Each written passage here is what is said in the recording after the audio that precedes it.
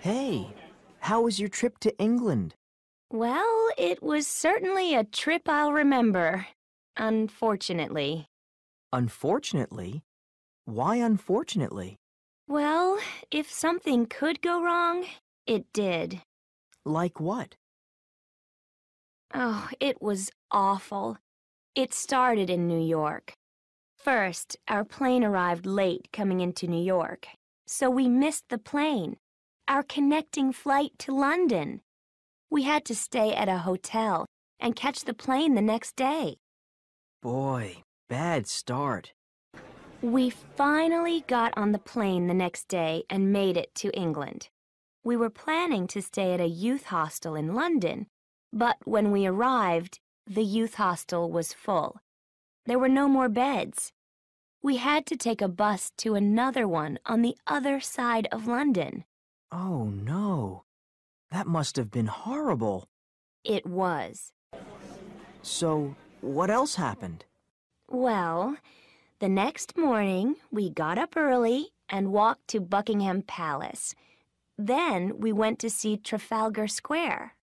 Yeah, I hear that's terrific. I wouldn't know. It was completely closed. They were filming a movie, and you couldn't get anywhere near the square. That's too bad.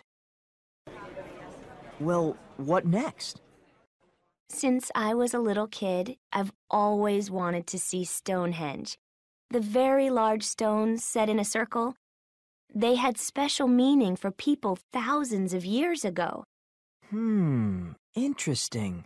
We took a bus tour to get there. We left really early in the morning, and guess what?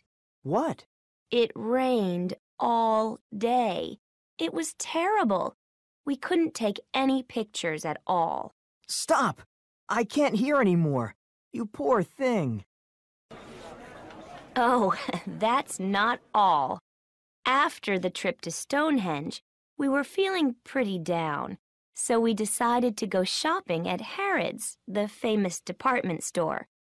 I found these beautiful sweaters, but there were no price tags, so I asked the price. I thought the clerk said 16 pounds each, so I decided to buy three. But when she gave me the total, I saw that they were 60 pounds each, not 16. Well, I guess that's the last trip you'll take to England.